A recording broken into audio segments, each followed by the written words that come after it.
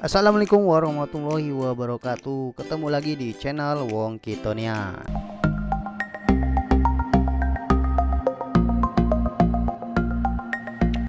Halo sobat gimana kabar kalian? Semoga baik-baik saja kan? Tentunya kalian tidak heran lagi dengan belanja online.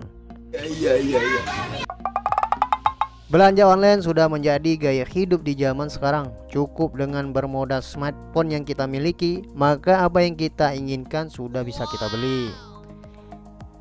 Namun perlu diwaspadai di balik mudahnya belanja online, ekspektasi gambar sesuatu barang yang kadang tidak sesuai dengan realita yang didapat. Nah, berikut ini 10 foto ekspektasi versus realita belanja online. Oke langsung aja yang pertama. Si Amoy beli celana sesuai dengan ukurannya. Yang dia pakai Eh yang datang bisa dipakai untuk dua orang. Sebenarnya sih ini ukuran buat siapa? Udah Amoy dikasih aja kepada nyokapnya ya. Mudah-mudahan dia Oke selanjutnya di nomor yang kedua. Niatnya sih biar kelihatan cantik. Ya kayak di foto Eh pas barang datang dan dipakai jadi kayak gini bentuknya. Netizen pun berkomentar. Kalau ini korban, apa emang salah cara pakainya, Mbak? Nomor 3. Sepatu bootnya keren ya. Kok yang datang malah sepatu ini? Nomor 4. Dilihat dari gambarnya kursinya sangat elegan dan mewah ya kita pasti tak akan menyangka jika kursinya sekecil ini. Nomor 5. Waduh, gimana masaknya kalau teflonnya sebesar jari?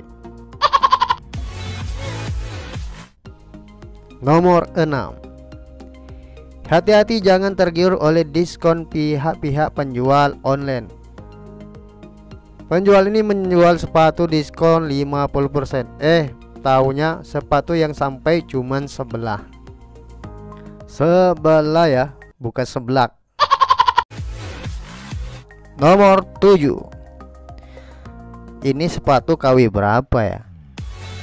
Nomor 8 Itu masker buat di muka apa di jidat?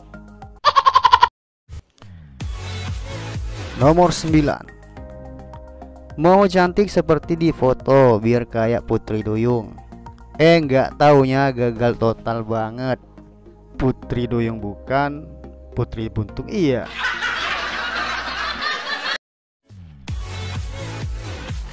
Nomor 10 Kalau lihat dari fotonya keren banget. Tapi yang datang kok sopa anak-anak kayak gini Aduh kecewa banget Oke itulah tadi 10 foto ekspektasi versus realita belanja online. Jadi dalam belanja online kalian harus tetap waspada dan lebih teliti lagi. Semoga video ini bermanfaat buat kalian. Jangan lupa like, subscribe, dan komennya. Terima kasih saya akhiri. Assalamualaikum warahmatullahi wabarakatuh